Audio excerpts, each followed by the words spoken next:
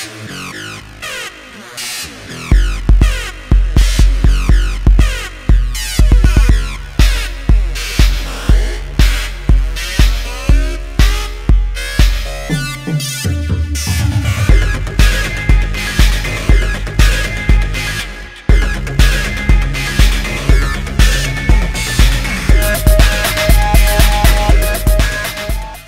What's up, everybody? It's your favorite Mass Shifter's favorite nerd. Today we are looking at Marvel Legends Ant-Man's wave of uh, figures with the Ultron Build-A-Figure. And we're going to be looking at Giant Man, Tiger Shark, and Wasp for this one. So without any further ado, let's get started. So up first is Giant Man. And this looks like uh, probably Bucky Cap mold to me. I don't know. I'm, I'm not good with distinguishing that sort of thing. Uh, I'm sure someone will let me know. And don't get me wrong, I am appreciative. So let's let's take a look at them. Uh, the head. You know what? Let's get a little bit closer. The head is on a ball hinge, um, and it's pretty good. Like it's it's pretty well done. It gets a little goofy the more you go up, but I think overall I wouldn't ask for anything more. Good to go. The paint on the face is pretty well done. The eyes are well done. There's like a you know, it's got the blue ring and the black pupil and the you know, it just it's it's pretty sharp. Uh, the face is decent, good to go. Sculpt along the the mask is all fine. Uh, these are loose, and I dig that. It looks like they just cut out a portion of the, it's probably like a Captain America head and they just plugged it in, but I'm okay with it, whatever. You, you won't notice it on a shelf, I'm alright with that. Black squares all done really clean on each side, no real complaints. Moving down, we got this thing here, and uh, it looks like there's veins in his chest, which is making it a little weird, but the the design on the chest is sharp. The paint is sharp. It's well done. I can't say the same for the stuff on the ribs. Could have used a second coat. Look how you see all that? See all that red poking through? Just fairly, fairly, fairly ugly, and it's on both sides. So that's that's the kind of stuff that that irritates me. So let's get up to the arms. Or we can do the ab crunch since we're here. We get two clicks down, nothing really back, and the abs. I guess one back, and the ab kind of uh, sculpt carries through, so that's that's cool too. And then we have a waist swivel as well. No problems there. Shoulders, typical ball hinge, swivel at the torso, and the black paint is done well, which is nice. Bicep swivel, no problems there. The black line work is fairly clean. We get a little carried away right there. Fairly clean on both sides though. Double jointed elbow, getting you pretty much anything you could want. Uh, this design here could have used a second layer of paint, obviously. You see that? Unfortunate. Very unfortunate. Same on the other side. And it has a wrist hinge and swivel and a fist hand, which is okay. Same for the other side, including another fist hand and weak paint right there at the plastic seam of the forearm. So, take that for what you will. Silver circles look good. Black belt around it looks decent, not sculpted. You know, that would have been optimal. But we can't go spending money on these things, can we?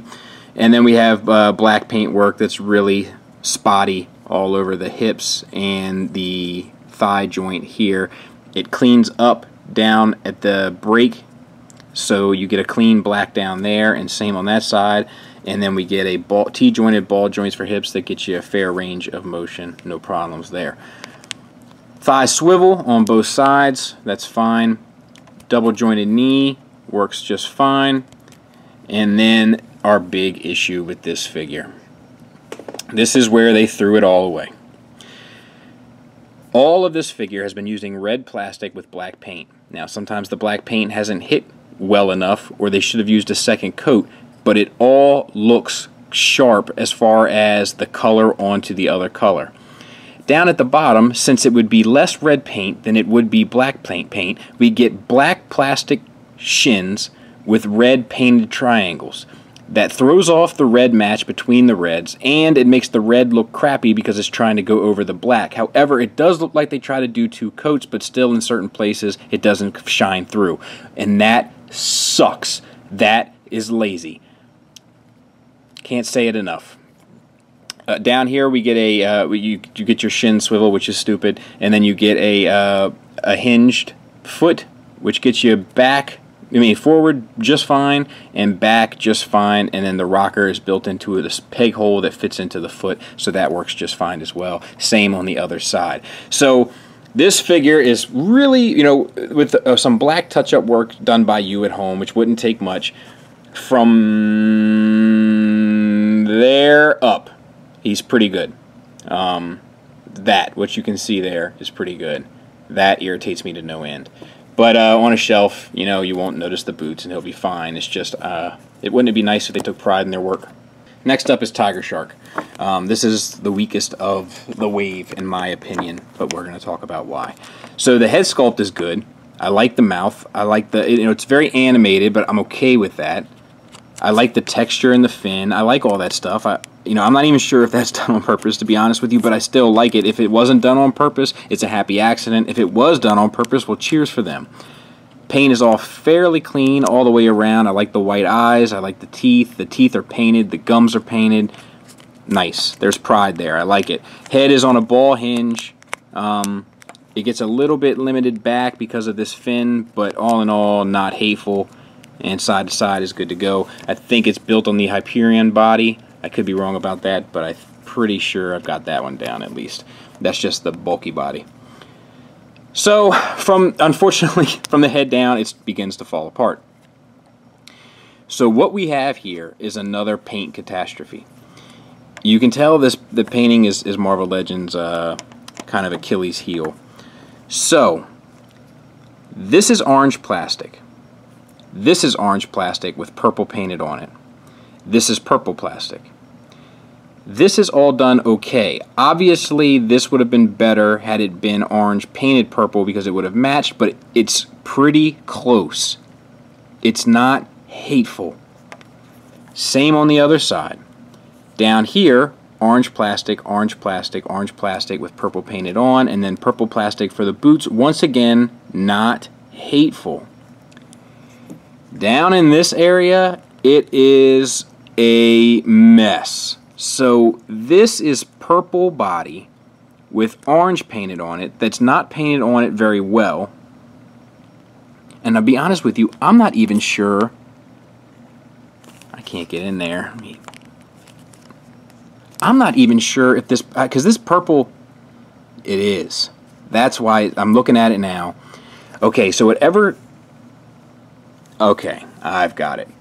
They used a base purple without a metallic finish. They used a metallic finish for the hands and a metallic finish for the feet. That's why that looks good. What they did here was they used a purple plastic and then painted metallic purple onto the purple and orange onto the purple. So neither one of them look great. You get chip marks all in the metallic purple, which otherwise looks pretty fantastic. And then you get orange that doesn't look like it quite belongs on this same figure going throughout the torso. Same thing on the lower part of the abdomen. And then in the crotch area, they just say, you know what, we don't really need the metallic finish. So they don't use the metallic finish here, and it's not even purple plastic, so it doesn't match this as good. So this is orange plastic with the purple painted on it, with a fingerprint on it, and that is lazy. Lazy. That is infuriating. And it's the same on the back, so that looks terrible. Terrible. Now, let's talk about the figure's articulation. So we got the ball, same Hyperion mold, we got the ball hinged shoulders, bicep swivel works fine, double jointed elbows, swivel at the wrist, and then a hinge for the wrist, for the hand. Same on the other side, ab crunch, two clicks down, so much paint that it's making it a mess. And then one paint, one click up, one paint. I got paint on my mind right now. Um, and that that's sloppy as well. And then we have a uh, waist swivel that works fine, uh, probably because there's no paint, uh, not, not, like not two layers of paint to screw that up. Um, and then a T-jointed ball joints for hips, thigh swivel, double jointed knees that work just fine, uh, calf swivel which is stupid, and then a uh, foot tilt that goes back and up, and then you get the swivel built in for the rocker, which is all fine. Now, real quick, before people say, um, they're giving you an extra point of articulation and you're calling it stupid. No, they're not. I mean, they are ultimately. They've worked that in. But what this is, what all of these are, are basically build a figure. So they can use different different molds and interconnect them in order to make different characters. So this is really laziness on their part that just adds to worthless articulation on yours. I am being hard on them. I'm just, but I. It, sometimes the truth is hard. Sometimes the truth isn't fair. It's not fair that lions eat baby zebras, but it's a part of life. Let's continue.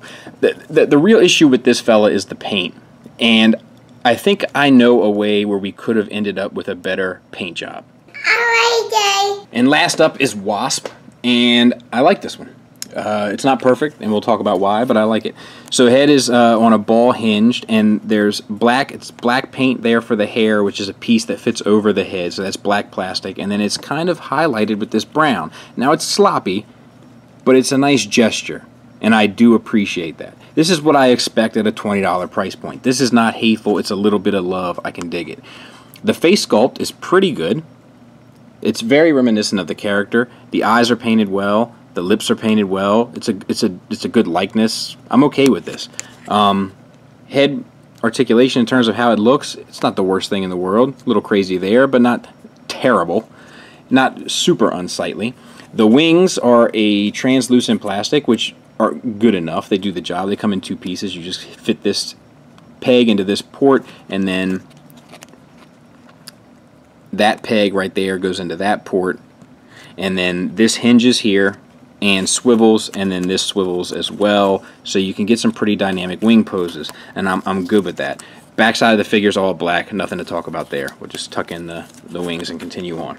So uh, let's talk about the rest. So this is black plastic with the gold painted on. Gets a little fuzzy around the edges not super clean but good enough.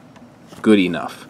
And then the balls uh, balls the arm the shoulders are on ball hinges and they are ratcheted and they work very nicely. No bicep swivel, but you get a swivel built into the elbow. My elbow is really tight and I'm not going to, there it is, there it goes. So elbow and then the swivel is built in, so it gets you what you need. Wrist swivels and hinges, and I like the uh, hand artic like the hand sculpt with the, and then I like the paint underneath. It's done fairly well, even better than the chest, I will say and articulation is identical for the other side and the hand is the same just opposite. For the uh, abdomen this is not my favorite female uh, cut here. I prefer it when it's right underneath the breast. It just makes for a cleaner figure but this still works fairly well. It's just a ball joint and it's a good enough range and then that gets you your quote-unquote waist swivel. Uh, this and this don't match and I can't think of a good reason why. This is black plastic. This is black plastic. Whatever they did to this they should have done to that I, I just I don't know why. I don't know why that is like that, but this looks fantastic. Very well done. The hips are on T-jointed ball joints to get you out to here, which is okay. Thigh swivel works just fine. Double jointed knee also working fine. Feet are on a hinge that gets you down and up. No, uh, I could go one more click up because sometimes getting her to stand is hard with all the weight on her back. It would have been nice to click her over one more one more notch, but that would have required me remolding, and we know that they're not going to do that. And then the ankle rocker is built into the bottom of the foot at the swivel, so that's fine as well. And then this gold lip around the feet is actually done fairly clean on both sides. We got a little spill over there onto the foot, but outside of that, nothing to really worry about. This is a good figure. I highly recommend this one. Final thoughts wise, the sculpts here are all pretty good no real complaints sculpt wise. The issues here are the issues that plague this line, and that's paint. And the reason why paint is an issue with this line is because they're trying to reuse the same bodies over and over and over again with different heads and interchangeable hands and interchangeable feet so that they can create more characters at a higher price point with lower cost to make more money. And I get it, business is business. But it would be nice if we got a little extra sculpted detail here and there. It wouldn't kill them. Much like the antennas here on Giant Man. It would have been a nice little touch, a belt, stuff like that. I don't even know what to do with this thing, but paint them correctly. Uh, it would be nice if we got some different ankle articulation with her in order to account for her wing weight um, or stand. You know, I'll take a stand any day of the week. But but those are the issues that plague this line. If you have a giant man that's a proper giant man, the build a figure one that's huge, you know, definitely stick with that. Tiger Shark I would avoid at all costs, and Wasp is definitely picking up. The only reason why you would want to get all of them is if you were like me and needed to build Ultron. Outside of that, get Wasp, pass on the rest. Thanks for listening. Thanks for watching. Until next time, take care.